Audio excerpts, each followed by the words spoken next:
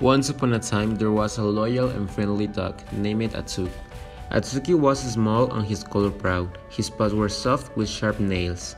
One day, he was searching for food when a human appeared. The human was a beautiful girl and seemed lost.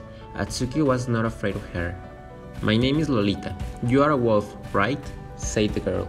No, these were my ancestors. They used to combat with mammoths and moose. These wolves evolved, evolved into dogs. What are you doing here alone? I was right where my parents left me when I hear a roar and I run away. I think I'm lost. Don't worry, I'll take you home. Lolita and Atsuki started their travel through the dark woods. The wind was blowing and the, and the animals were hidden by Atsuki. They were afraid of wolves and even Atsuki was smaller than wolves, he looked like one of them.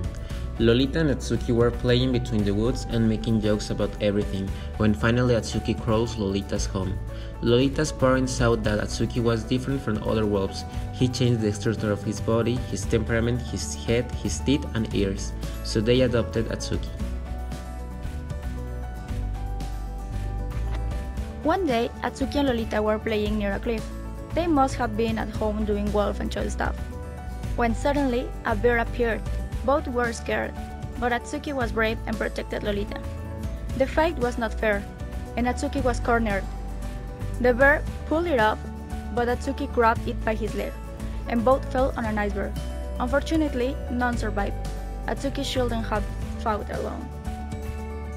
For thousands of years, the body of Atsuki remained frozen under the ice, without knowing that someday will change the story as we all knew.